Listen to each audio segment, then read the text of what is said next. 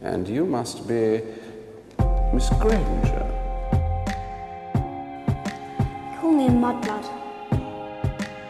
Yes, Draco has told me all about you and your parents. It means dirty blood. Mudblood's a really foul name for someone who's muggle born, someone with non-magic parents, someone like me.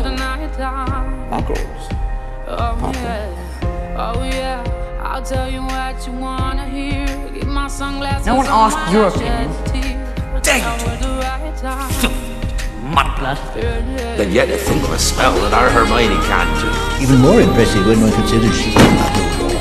Honestly, don't you two read? One of my best friends is Muggleborn. She's the best in our year. No one. Clearly, Hermione.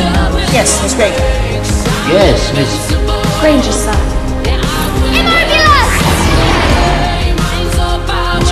Are you incapable of restraining yourself, or do you take pride in being an insufferable know-it-all?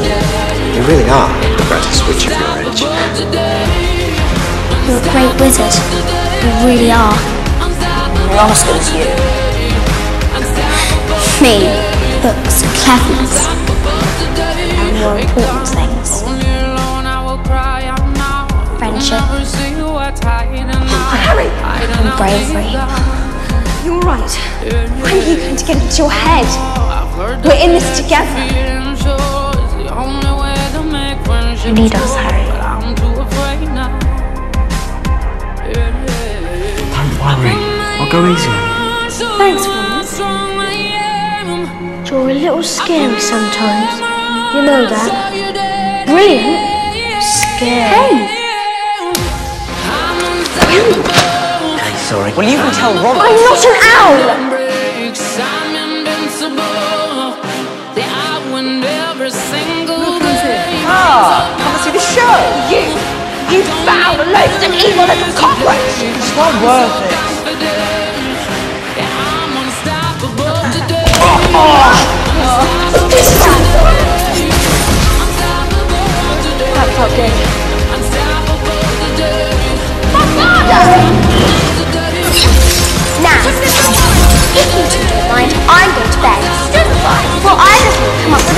Clever idea to get us worse,